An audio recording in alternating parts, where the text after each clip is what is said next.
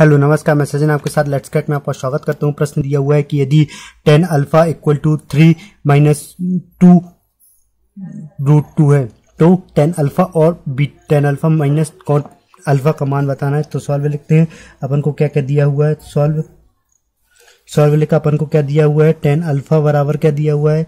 Three minus two root two ठीक है? और अपन को tan alpha plus cot tan alpha minus tan alpha minus cot alpha का मान बताना है कि क्या होगा, ठीक है?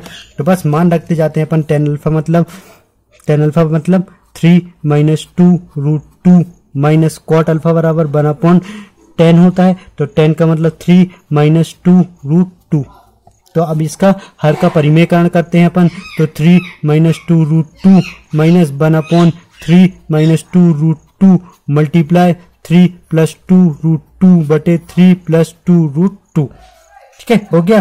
तो ये कितना हो जाता है? ये हो जाता है three minus two root two minus ये होगा three plus two root two बटा, क्या होता है? तीन का वर्ग माइनस टू रूट टू का होल स्क्वायर ठीक है? और इसके आगे क्या होता है? इसके आगे ये होगा कि three minus two root two three minus two root two minus three plus two root two बटा नौ माइनस आठ। नौ माइनस आठ मतलब एक। नौ माइनस आठ मतलब एक बचे। मतलब एक बचेगा, ठीक है? तो equal to three minus two root two minus three minus two root three बटे एक बचेगा, क्योंकि माइनस का अपन गुणा कर दिए तो ये क्या होता है फिर?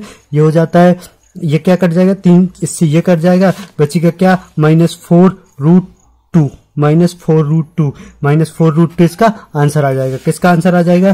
Tan x minus cot x का मान कितना आ जाएगा? Minus four root two.